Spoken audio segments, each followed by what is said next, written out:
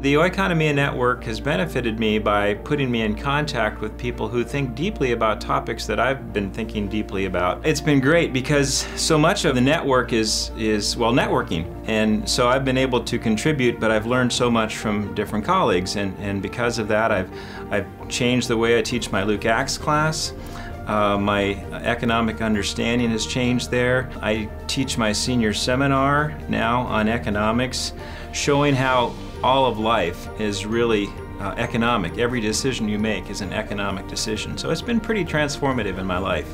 I think it's impacted uh, students in a lot of ways, particularly their um, Christians often have sort of a love-hate relationship with money. Um, on the one hand, you have the success gospel. On the other hand, you have some people who feel they should just give away all their money and not have anything. And I think a proper, healthy understanding shows that money is simply a tool, it's a resource, it's to be managed, it's to be used wisely. The Oikonomia Network has helped me understand that uh, how work and uh, management of resources and uh, my life are all a singularity and not uh, pieces that are out there in various places.